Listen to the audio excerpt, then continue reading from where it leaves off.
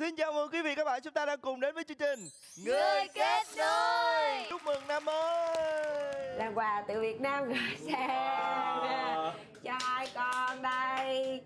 Đây bây giờ anh hai được chọn trước anh hai thích cái nào? Ôi anh ơi sáng mà anh đãi em ăn thịnh soạn quá vậy.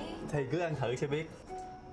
Ồ cái cổng này là như Ảo nói đó là thuộc trong nguyên cái quần thể này thuộc top 3 đúng rồi. Dạ. mình mình ra ngoài đó mình sẽ chụp được cái cổng nó, nó, đẹp đi. đi.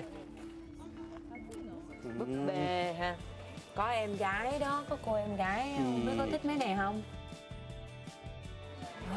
Hiện tại thì Sĩ Thanh đang ở thành Kumamoto. Đây là một địa điểm rất là nổi tiếng ở Nhật.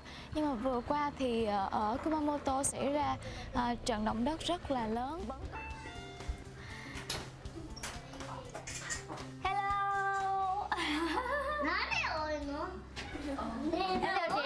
Bây giờ tụi em có thể vô trong nhà mình gặp mặt gỡ gia đình và tham quan một xíu được không ạ?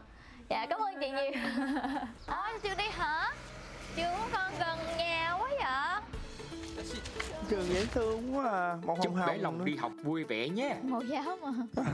Wow, rất là vui hôm nay sẽ thành có cơ hội học tiếng Nhật. Mà chắc ờ, khó đây tại vì chưa có học căn bản rồi nhảy vô học nâng cao. Điện đồ thì tắt hết không có nước sinh hoạt. Rồi những người dân sống chung ở đây họ tụ tập xuống bãi đỗ xe dưới mình này họ nấu cơm. Chương trình người kết nối. Thì em cũng có món quà để gửi tặng cho anh chị. Hy vọng là anh chị sẽ thích. À, em mời anh chị. Coi cái này.